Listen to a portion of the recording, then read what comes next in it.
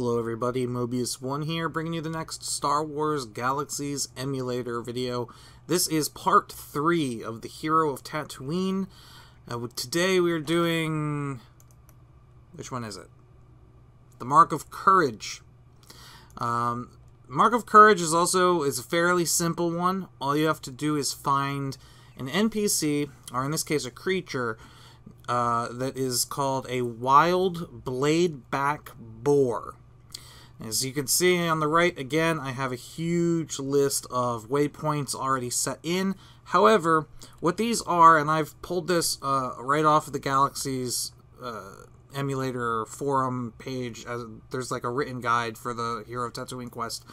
I punched all these waypoint co coordinates in, and it is just as I remembered uh, from live, a huge patch of uh, not necessarily spawn locations, but where the boar was sighted, which is just west of the Mos, the old Mos Espa pod racing track. So, in case you never know, uh, there's a point of interest, which is the old Mos Espa arena track up in the north side of Tatooine, and to the west of there is basically where the boar spawns. The thing is, I'm, I'm fairly certain the boar wanders. So as you can tell from this group, uh, this cluster of waypoints, the boar probably spawns somewhere in this area, and will wander around. Now I'm sure it's it's like you know a localized spawn it can spawn anywhere within that area, but at least we know that that's where it's supposed to spawn. So I don't know how long it's going to take me to find it. I'm going to start a timer. I'm going to go up there and drive around and see how uh, lucky I can get. But um, yeah, you guys definitely do not have to watch all of it. Alright, I did just want to point out as I'm driving around up here, there is a group of Tusken warriors and Tusken death hunters up here. I don't know how strong those are, and I'm not really looking to engage them right now. Um, but just be warned that there are some fairly challenging NPCs that can spawn up here while you're driving around, so uh, bring buffs, bring armor. Don't be a, you know, fresh toon driving around up here because uh, there are things that could kill you, potentially. We even have some cannibals living up here, which is not something I don't think I've ever seen in the game before. That's interesting. Day three. Okay, so here we are two days later. Uh, when I initially when I started this video, you guys were just watching. I began searching for the boar. I searched for maybe 20 minutes, and then the server shut down. So that kind of hindered my progress a little bit. Then yesterday, I did a little bit more searching. I searched for maybe an hour and had no luck. And then here I am again today. I searched again for about I would say two hours total. I didn't search for two hours straight. I searched for like 45 minutes, took a break for a couple hours, played something else, came back, searched for like another 45 minutes, took a break, went and played something else, came back, and here I am after searching for about 15 minutes for the third time today. I found him, the wild bladeback boar. My location is right up here, right in that same... I, I deleted those old waypoints, but right in the same cluster of waypoints that I had on the map earlier. And I did actually bring my Master Ranger alt uh, out here to find out if the board does in fact show up in an, an animal track for a ranger, and he does. So if you have a ranger alt with the area track ability, you can in fact use that to find the boar. Um, it's just track it as if you would track a regular creature, animal, because you can uh, ranger can track animals, people, or players. You track animal, it pops right up. Wild bladeback boar, if you're within range, of course.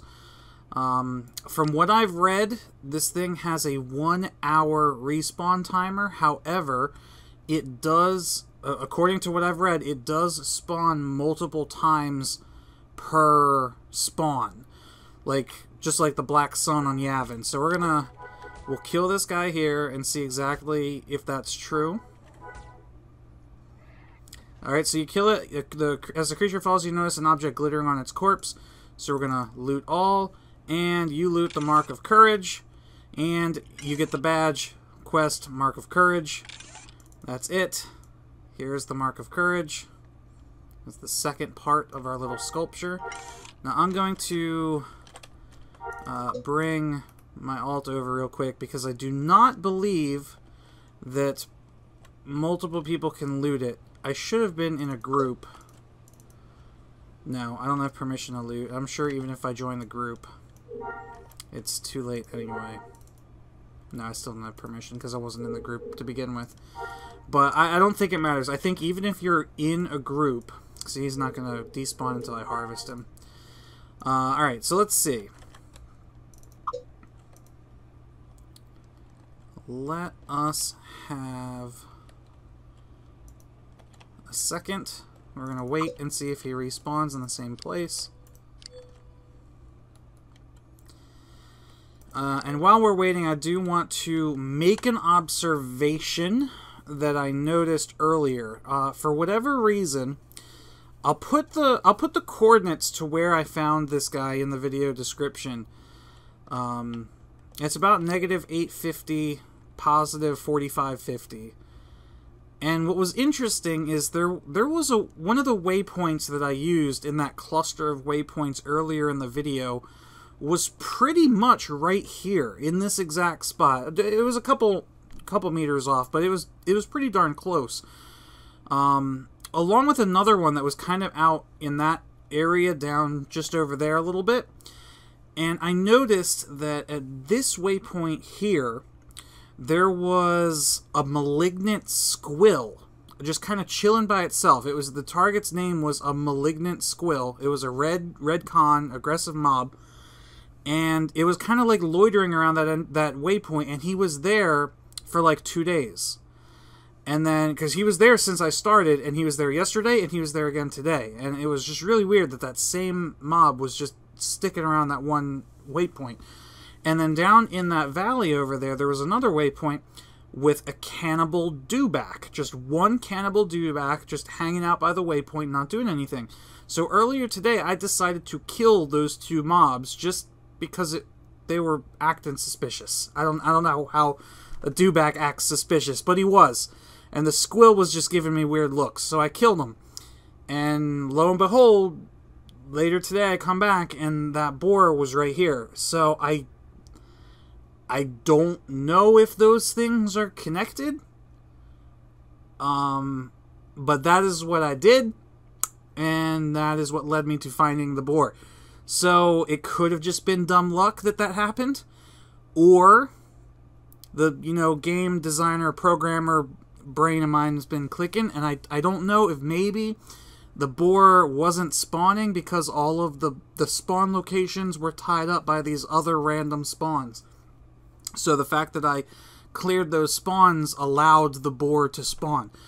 I don't know if that's how the game works. You guys are more than welcome to comment in the on the video uh, down below and let me know how completely crazy I am for for thinking that that's how it worked.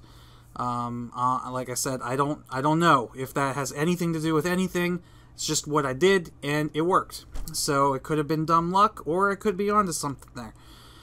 Anyway, I'm gonna I'll cut this video here so you guys don't have to wait forever and we'll find out if this guy respawns or not alright it does not appear that this guy is going to be respawning anytime soon. Um, I've been sitting here for about 15 minutes which is way longer than it takes the Black Sun to respawn once you kill a wave of them.